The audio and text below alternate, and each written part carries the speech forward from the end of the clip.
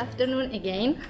Um, this paper is a presentation of our work in progress on a rock panel recently found at the cave of La Zaida in Used, Spain.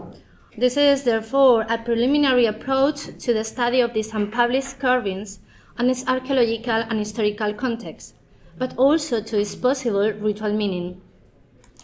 The existence of archaeological remains inside the cave of La Zaida is known from the 80s of the last century, when bronze and Iron Age pottery fragments were found. But the carvings had been not noticed until one year ago, when they were accidentally discovered by local people who identified them as a sort of prehistoric rock art and got in contact with Professor Pilar Utrilla, a well-known specialist specialist on the subject.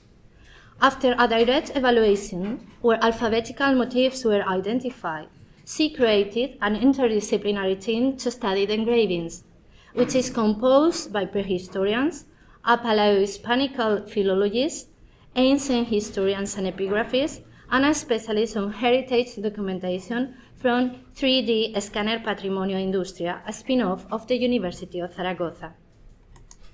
The cave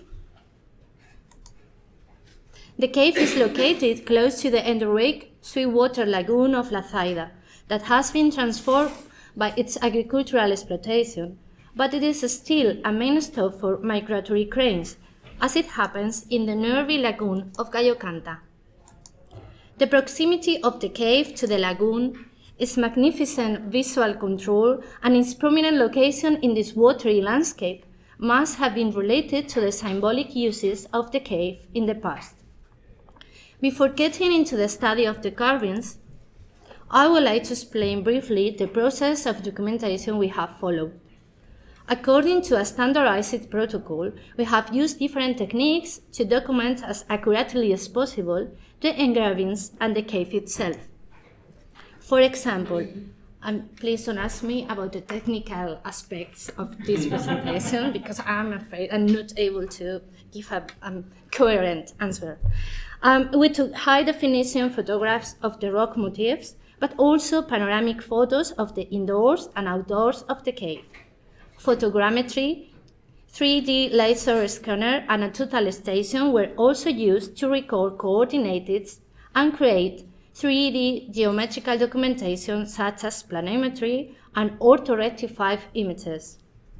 After putting all data together, a general and immersive view of La Zaida and its rock art was produced, and information was loaded to a web platform to allow everyone to work with an extremely accurate digital documentation of the cave and its rock art and epigraphy. So, for instance, we can apply different filters to 3D models and orthometric high-definition images of the rock panel to study and highlight its details using a 3D PDF tool. As you can see, the cave system of La Zaida is not very large, and its archaeological exploration is now in progress. Facing north and enjoying a great view over the lagoon, the mouth of the cave has three high and narrow entrances that converge into a small hall, from which we can access to two galleries. Parts of the roof have collapsed and the ground is now filled with gravel, sand, rubbish, fallen stones, and bronze and Iron Age pottery fragments. As the cave is unfit for daily human dwelling, the pottery cannot be related to past quotidian occupations, but the place could have been used as a temporary shelter. The epigraphic panel is located at the narrowest part of the main entrance, less than in a part uh, less than uh, 60 centimeters width. Carved on the right wall of the corridor, at a height of one meter from the current ground, the panel is perfectly accessible and is illuminated by daylight. Its liminal location seems, to intense, seems an intentional one, as I will explain later on. The size of the panel is quite small, as shown on the screen, and it looks as still is.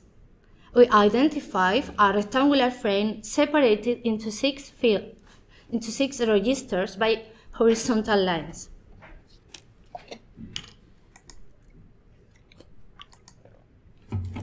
The first two fields show crisscross lines and rhomboid motifs. The third field houses the inscription, and the fourth is more complex. On the left, we identify some traces of another inscription, but its right side is a conundrum of entangled lines. The lower part of the rectangular frame, fields number 5 and 6, shows a sort of geometrical motifs, but not so well made as the upper ones. We wonder if there are animal figures, sorry, if there are animal figures in these lower fields. Regarding the process of the panel making of, initially we thought that the lines of the rectangular frame were made first, and the geometrical figures and the inscription were carved later, following the ordinatio. However, a closer study of the panel points out some interesting and intriguing questions. All the horizontal line, all the horizontal lines that conform the fields are cut by the vertical lines of the main rectangular frame. This one, this, this one. Except the upper one, which cuts the two vertical lines, but also some diagonal lines from the geometrical motifs of the field number one. Some letters of the inscriptions on the right side, no, sorry, on the left side, no, on the right, on the right side here, sorry, are cut by the horizontal line below, so the ordinatio was not used as a guide to write the text, but to frame it instead. On this basis, we propose a hypothetical making sequence. Firstly, the inscription was carved. Later on, it was framed by horizontal lines, which were cut by two main vertical lines.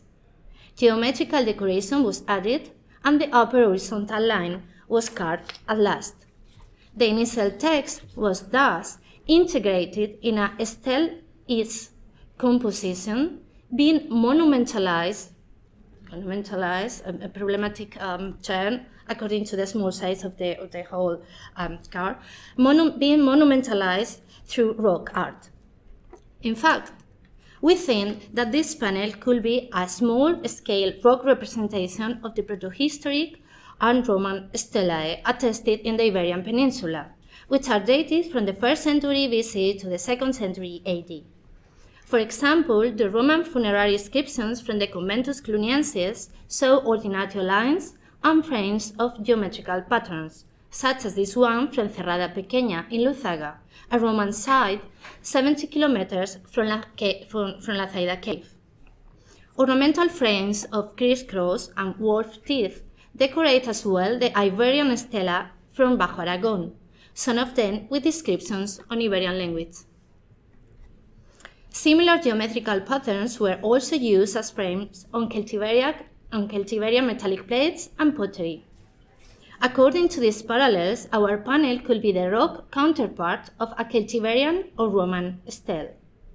If so, could the test give us any key about the ritual meaning of the carvings and the kind of activities carried out at the cave?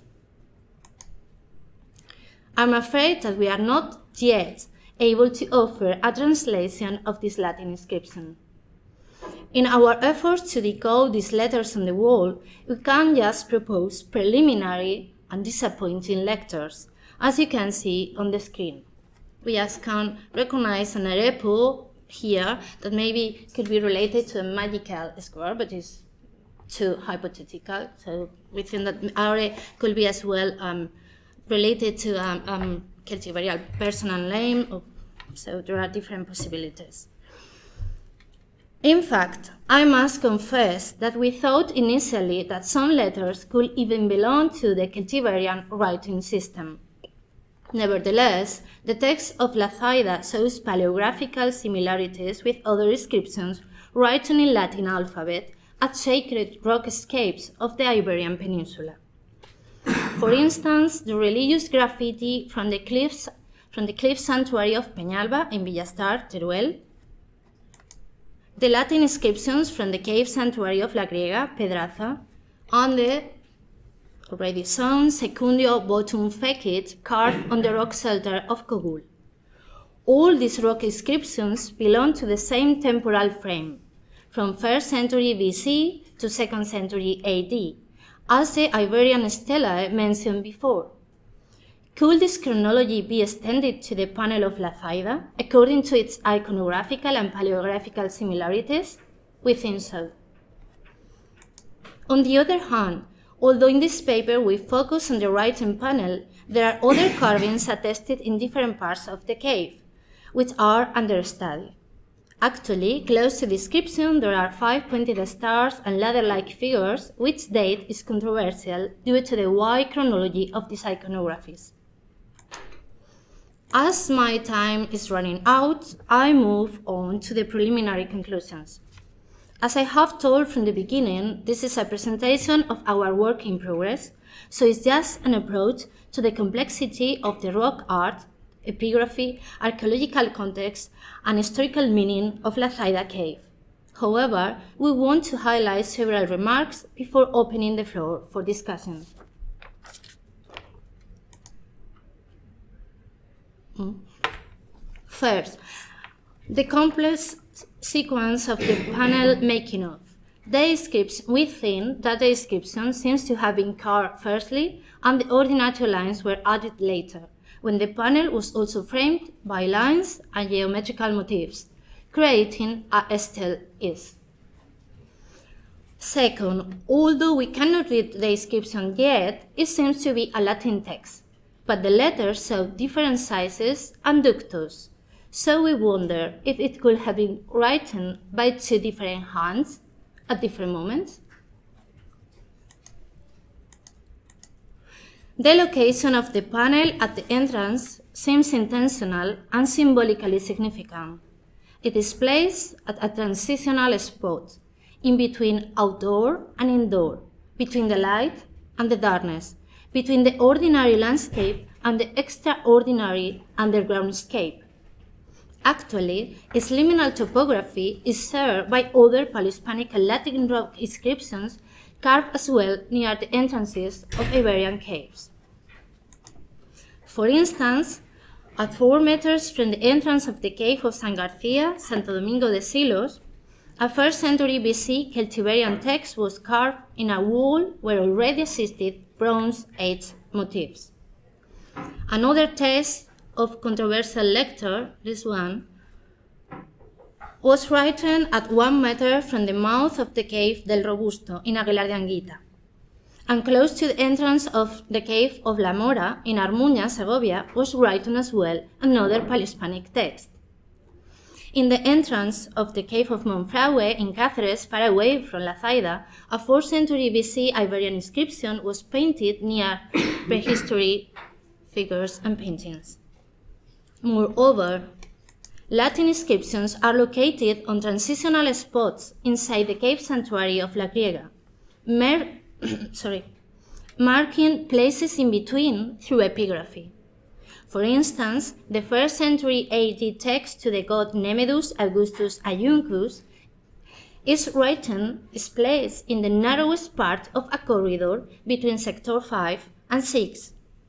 Other 2nd century AD examples from the La Griega cave, located at uh, liminal spots, are the text number um, 19, placed between sector 3 and 4, and the text number uh, 25 to 27 between sector 4 and 5. According to that, we consider that the liminal location of the panel of La Zaida is not casual but intentional, and could be related to a ritual use of the cave, since all its parallels are documented at Celtiberian and, and Roman sanctuary caves where the making of text was part of the ritual practices carried out there.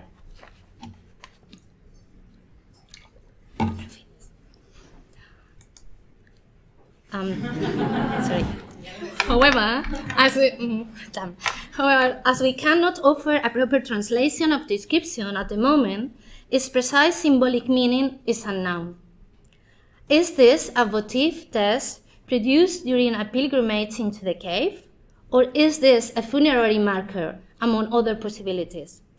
And could the pottery fragments found inside be related as well to those ritual activities? A lot of work on this cave must be done in order to bring light to, to the understanding of its rock art, epigraphy, and symbolic and ritual use over time. Anyway, I want to ask, to conclude, the question that opens the title of our paper. Is this ritual? We think so, but we are more than delighted to open the floor for discussion. Thanks a lot for your attention.